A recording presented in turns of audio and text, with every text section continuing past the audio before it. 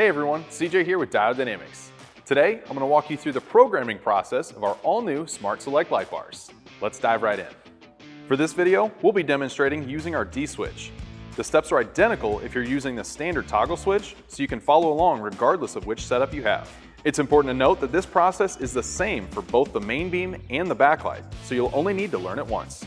To enter programming mode, turn the power on and off three times, leaving it on for at least one second, but no more than three seconds each time. On the fourth power on, the light bar will enter programming mode and automatically switch to the next available option.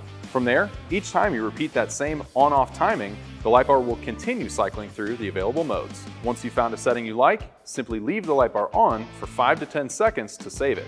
After saving, anytime you turn the light bar off and back on outside of programming mode, it will return to your last saved setting. When you've cycled through all available options twice, that's 16 cycles for the backlight and 6 for the main beam, the system will perform a reset flash. You'll notice each time you toggle power, the backlight will remain white or the full main beam will stay.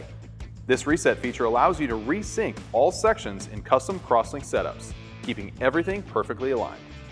And that's it. If you want to pick up an all-new Stage Series light bar for your ride, visit diodedynamics.com or use our dealer locator tool to find a dealer near you.